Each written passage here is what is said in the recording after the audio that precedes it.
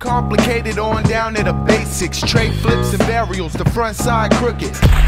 Today I'm going to be teaching you guys how to get up a curb the easiest way. You may be thinking, Steve, why not just ollie up a curb? That's pretty easy. Well, there's some situations, for example, you want to enjoy your mango mango drink from 7-Eleven, 96 cents, without spilling it. And this is the best way to do it.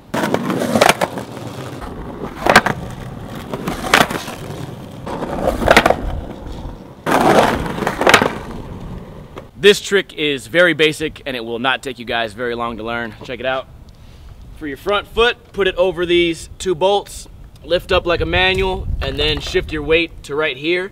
This back leg just kind of goes limp and the board should hit the curb and that'll give it a little bit of extra bounce. The only thing that could happen is if you're going too fast or you don't lift enough, you'll clip like that and then no matter how much weight you put here, you're gonna be stuck. Ride, lift, shift your weight, and then you're there.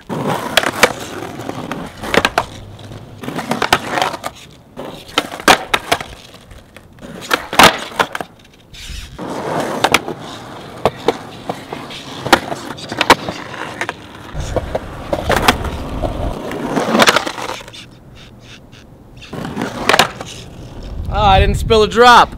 Mmm. Dang it!